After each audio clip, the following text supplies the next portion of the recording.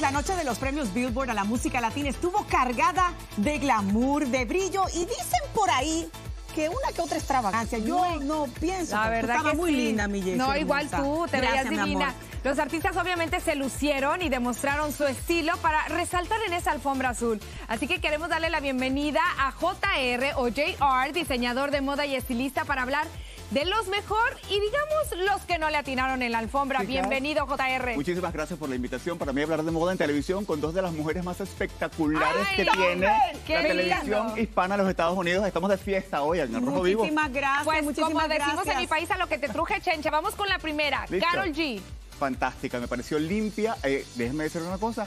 Independientemente de que la comparaban mucho con Selena, me pareció el look estaba sencillamente ideal. Limpio, no había mucho, pero había demasiado. Estaba sencillamente divina. Este Una de traje favoritas. de Dolce en Gabbana, bañado en cristales, su pelo, por supuesto, recogido de una manera súper ah, delicada, al descuido. Juvenil, juvenil Tenía como de todo, ella. me pareció fantástica, me encantó. Y tú sabes que ahora que estás hablando de esa comparación con Selena, creo que fue en 1994 que Selena fue a recibir un premio. Mírenla ahí, se puso este vestido tan hermoso. Increíble. Y dicen, e inclusive hay varias poses que Selena hizo que yo estoy casi segura que inconscientemente también las hizo Karol G. Y ahí fue que vino la comparación. Pelo recogido, aunque sí tienen sus detalles diferentes. Me parece lindo eh, el poder ah, compararla, que- además con una estrella de la talla de Selena. Los looks en televisión, en el mundo del espectáculo, van y vienen, esto es circular, pero esto puede haber sido una coincidencia, pero una coincidencia hermosa. Hermosa coincidencia porque sabemos todos además que Carol G es súper fanática de Selena, no por nada su última canción de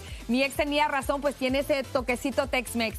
Vámonos ahora con el gran ganador de la noche, Peso Pluma, que llegó muy guapo el muchacho.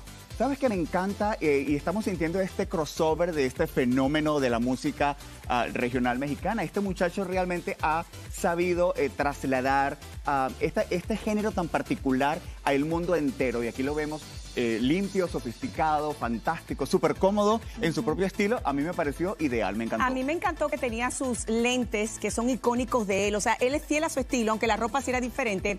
Y sí me di cuenta que los hombres utilizaron mucho lo que son los accesorios, las cadenas. Vi muchas cadenas en la alfombra, en el show también, y eso me llama la atención porque le da un toque singular.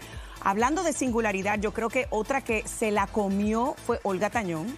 O sea, la alfombra, Divina. Olga, que es de, una no marca sé- mexicana, Eh, sí, que claro, se llama y Balco, Yo ¿no? no sé si ustedes saben que Olga Tañón fue a la escuela de moda. Ella es diseñadora de moda, graduada. Yo te oí hablando de Sí, esto. déjeme decirles que ella siempre está muy pendiente de sus looks. Ella sabe qué es lo que le queda. La figura de Olga es sencillamente espectacular y por Está supuesto mejor que nunca, no mejor increíble. Esta nunca. mujer me encanta. Todo lo que escoge, todo lo que lo que realmente decide usar es acertadísimo. La verdad que sí, espectacular, mi comadre Olga, te la ganaste también en la noche de las mejores vestidas